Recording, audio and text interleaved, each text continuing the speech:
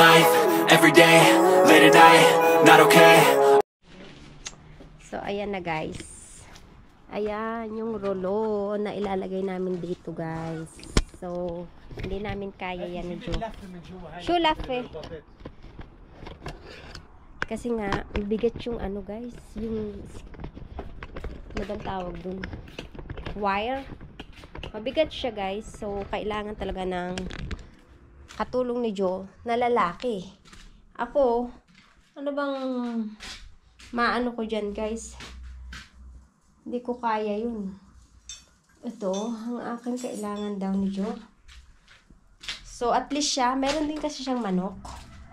At magaling siya mag-ano ng mga manok. So, may alam siya. Siya nga ang gumawa ng bahay niya eh. Ng bahay ng manok niya. Hi, da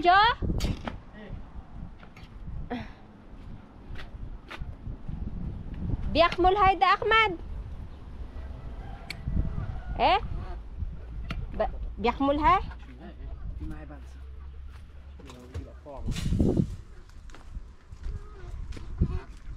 Nagpasukan ng manok na takot. Akala kakatayin. Mamaya ako na lang guys ipakita sa inyo pag natapos na ha.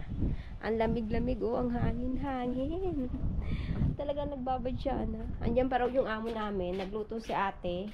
Naubusan daw kami ng gas. Nagluto si ate kasi sabi magla-lunch. Ang aking buhok oh, pasensya na guys. Kasi mahangin. Eh, tapos, nung makaluto si ate, nawala naman ng gas, hindi pa tapos yung niluluto. Pumunta siya dito.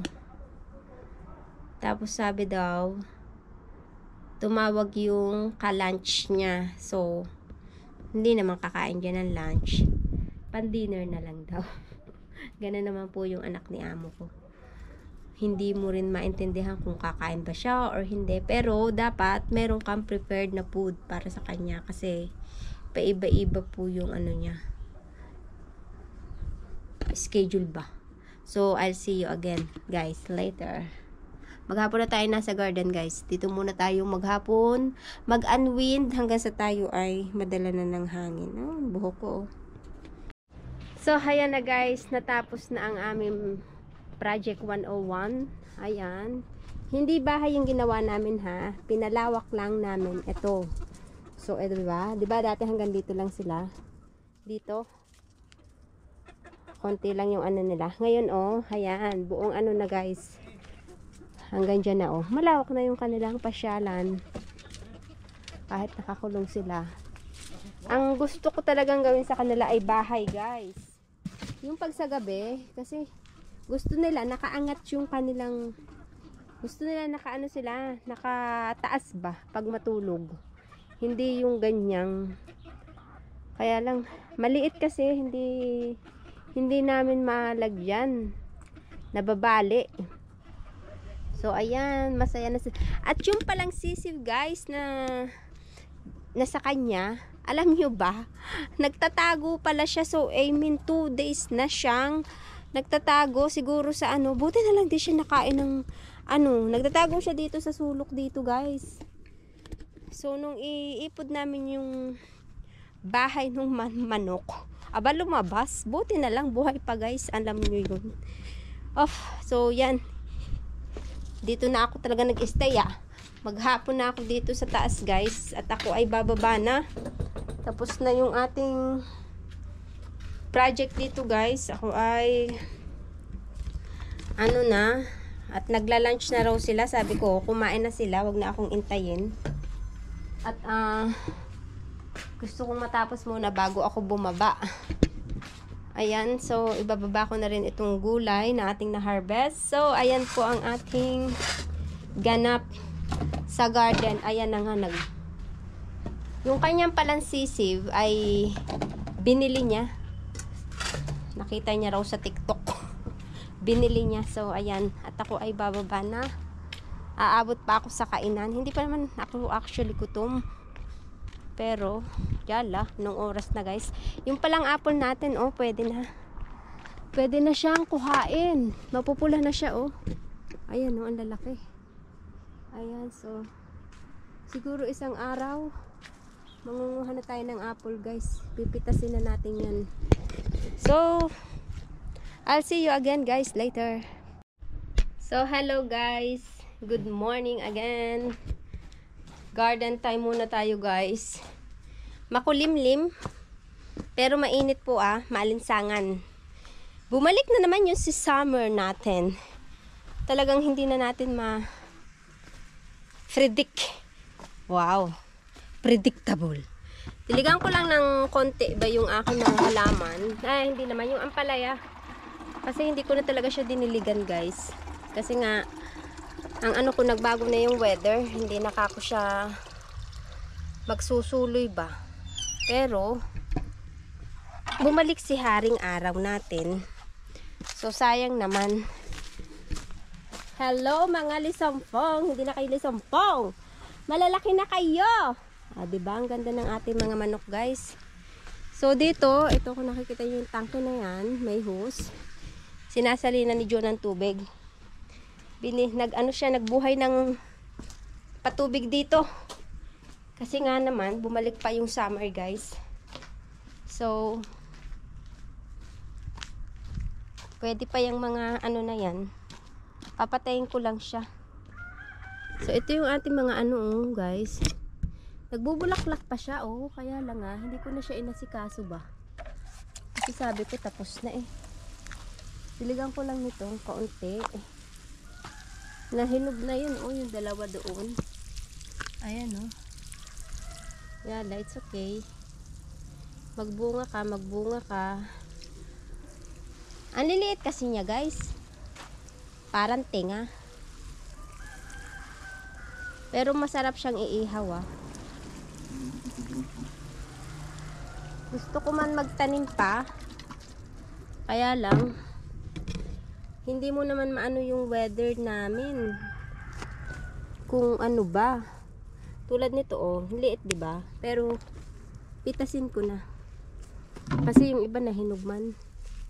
Ayan, oh. sarap nitong iihaw guys. Tapos sausaw mo sa bagoong. Ay nako, solved na ang tanghalian. Tanghalian hapunan. Gustong gusto ito na Ate Dory. Eh. Alam nyo ba yung sitaw pating inano ko ito? Tumubo man. Ayan. Nagtatago kasi sila minsan sa ilalim ba. Tapos yung mga, ito oh, kita nyo yung mga sile. As in na ano na sila. Nalanta. Nagtampo na guys. Eh kasi naman, nagtampo rin ako sa kanila at hindi sila magbigay ng maraming bunga guys. So magdidilig lang ako doon tapos hindi ko alam kung saan ang aking patutunguhan. Magpapatay ako ng hose and then baka medyo mag-stay-stay muna ako dito. Wala namang gagawin sa baba. Si amo ko andun. Nihatid na ni Joe. May meeting daw. Tapos, enrollment na naman guys. Ano ba yan? Enrollment na naman pala. Mahal-mahal ng tuition po dito, alam nyo ba? So, kahapon namili kami ng gamit ni Mira sa school. Sa 90 na po yung pasukan nila. I don't know. Kasi, sabi-sabi sa balita na hindi daw matutuloy yung pasukan dito. Alam nyo na, something, ay, ano ba ito? Hindi ko alam kung anong ganap na naman nila na may sinasabing bago na naman daw sakit na kumakalat. Pero minsan, para bang ano na lang nila yun. Sabi-sabi. Pananakot ba sa mga tao? Alam naman nilang yung mga tao eh over na. Yala, saglit lang guys. Hi guys. Ayan. Inalis, alam niyo yung lettuce na tanim namin. Inalis ko na. Kasi wala naman siyang halaga na. Kasi nga lantutay na. Punggo pa. So inalis ko na lang guys. Pinakain ko sa manok. Para may pakinabang.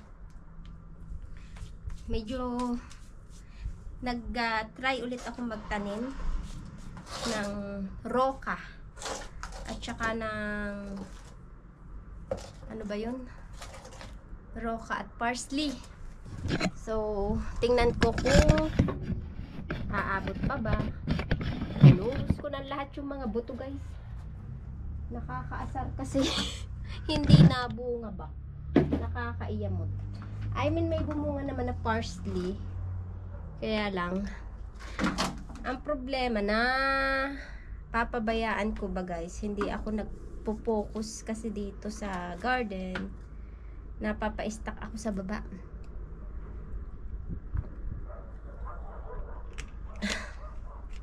Parang hindi na kaya ng aking manpower agency ba?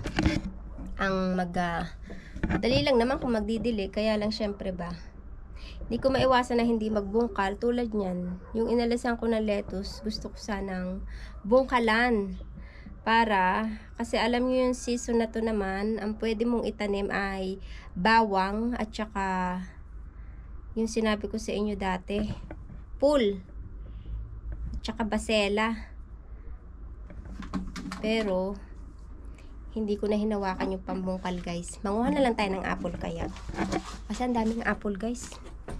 Manguha muna tayo. Yung pulang apple dito sa may... Dito lang naman sa taas. Hindi tayo bababa. Meron mang apple. Ay, yung pala ang palaya kong nakuha, oh. Naiwan ko pa dyan. Ayan guys, oh, mga apple. Pwede na yan, bo. Pwede na yan kuhain, guys. Tayo ay mamuti. Kahit konti lang ba. Pang pang ano. Si Mira pala at si Joe ay dumating na galing school. So, nakakuha na sila ng uniform.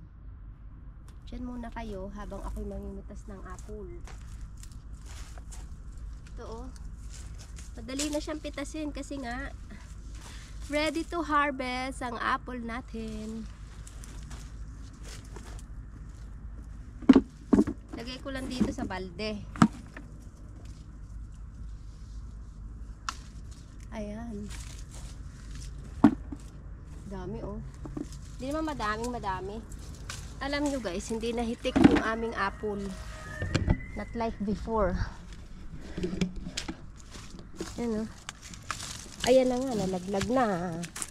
Huwag na natin limutin pag nalaglag. Kasi,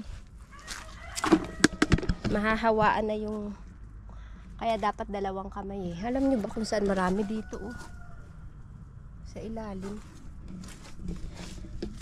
Dito nga kayo. Ayan.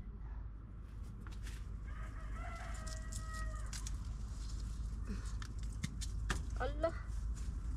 Nalaglag man.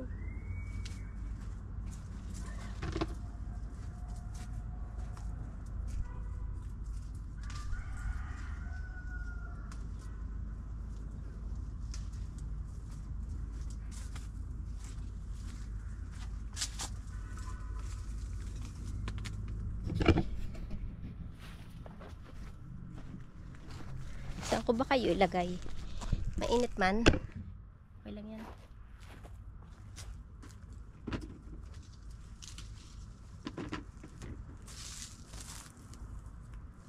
Nakakalito kasi.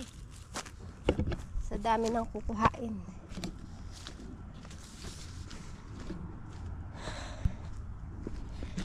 Diyan kaya kayo?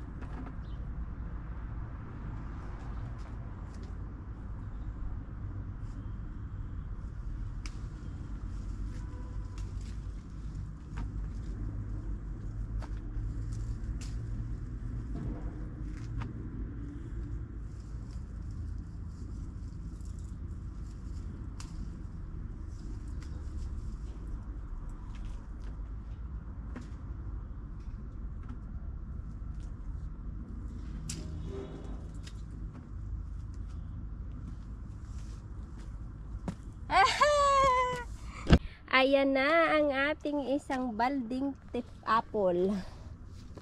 Ay, naku, sayang man pag magbagsak, guys. Ha? Eh, bad, bad do. So, ayan. Pinatay kasi yung tubig ko, guys. Nagbabantay sana ako, kaya lang pinatay may niya. Pero binuhay uli. Ayan naman ang ating ang palaya, ang punggok. Iihaw namin to at isaw-saw sa bagoong. Tapos, may nakuha din akong okra, guys, cucumber at isang kamatis at isang sili at ang ating soybeans, ayan. So, yung araw naman natin ay alis dating, alis dating. So, dito muna tayo, guys. Yung matanda, oh, nanguha ng fig doon. Kaya lang, wala naman yung ano, hindi maganda yung bunga ng fig namin. Every, every year, ganyan yung bunga. So, ayan na guys, ang ating nakuhang apple, oh, ba? Dalawang balde. Dalawang balding apple, guys. At ako naman ay bababa na, guys. Dahil ako ay tinatamar na. alam nyo yung hindi ko alam. I mean, kalas. Kumuha rin pala ako ng patola. Patola. At ayan, kinuha ko na siya. Kahit medyo maliit pa. Okay lang yan. Pwede na yung igulay, guys. Pagtsagaan na yung igulay. Pag nilagyan mo yan ng sardinas at ng tawag dito. Sardinas at ng sutanghon ay panalo ka na dyan. So, I'll see you na lang guys later at ako ay bababa na sa ating pinanggalingan. At anong oras na po? Alas 11 na. Iwanan ko lang yung apple dyan. Ha, mamigay ako. Kasi sayang naman. Nabubulok lang din naman po yan sa rep. Kahit mag-ista kami, meron pa nga akong itatapon from last year. Nangangamoy na yung rep ko. So, see you na lang guys later.